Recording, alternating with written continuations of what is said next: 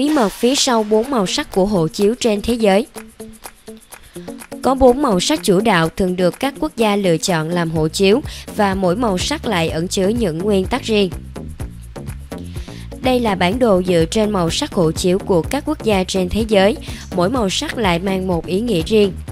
Đỏ sẫm Đây là màu sắc phổ biến nhất, hộ chiếu mang màu sắc này thường đến từ các quốc gia đã hoặc đang theo chế độ xã hội chủ nghĩa như Slovenia, Trung Quốc, Serbia, Nga, Latvia, Romania, Ba Lan, Syria. Các quốc gia thành viên của Liên minh châu Âu trừ Croatia cũng sử dụng màu đỏ sậm hoặc các sắc độ đỏ khác. Các quốc gia đang có ý định gia nhập vào liên minh này như Thổ Nhĩ Kỳ, Macedonia, Albania cũng mới đổi màu sắc hộ chiếu cách đây vài năm. Liên minh các quốc gia Nam Mỹ gồm Bolivia, Colombia, Ecuador và Peru cũng có màu sắc đỏ trên hộ chiếu. Xanh navy Xanh navy là màu phổ biến thứ hai sau màu đỏ khi được sử dụng làm hộ chiếu. Màu xanh được xem như tượng trưng cho thế giới mới. 15 quốc gia vùng Caribe đều sử dụng màu sắc này.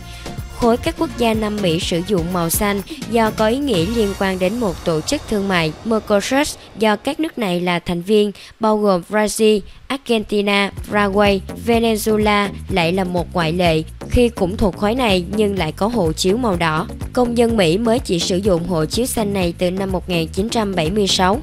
Trước đó, quốc gia này từng chọn màu đỏ từ năm 1926 cho đến năm 1941. Từ năm 1941 đến năm 1976 lại là màu xanh lá cây. Xanh lá cây đậm Hầu hết các quốc gia đạo hồi đều sử dụng màu này như Maroc, Arab Saudi, Pakistan. Màu xanh lá mang ý nghĩa tâm linh, biểu tượng cho thiên nhiên và sự sống. Các quốc gia Tây Phi như Burkina Faso, Nigeria, Niger, bờ biển Nga, Senegal cùng có hộ chiếu với các sắc độ đậm của màu xanh này, do đây là màu biểu tượng của Tổ chức Kinh tế các nước Tây Phi, ECOWAS. Việt Nam là một ngoại lệ khi không thuộc các tiêu chí trên nhưng vẫn sử dụng màu xanh lá đậm. Màu đen